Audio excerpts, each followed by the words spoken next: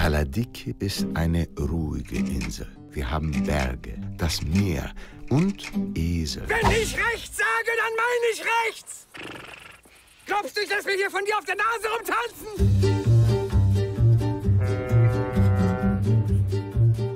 Der will sein Geld zurück.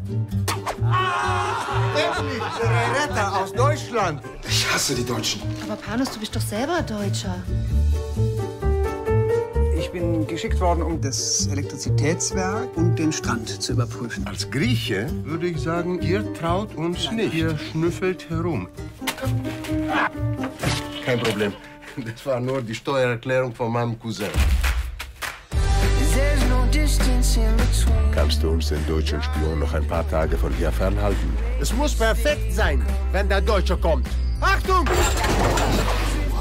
Hast du da ein Elektrizitätswerk?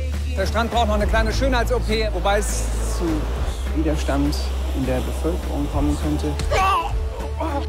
Welche Frauen machen dich glücklich? Meine Arbeit macht mich glücklich. Ich fahre aus Prinzip kein Motorrad. Motorrad oder Esel?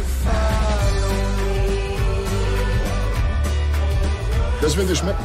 Guten Appetit. Das Auge schmeckt besonders lecker. Weißt du, mein Freund, ich mag dich. Everybody say Feta!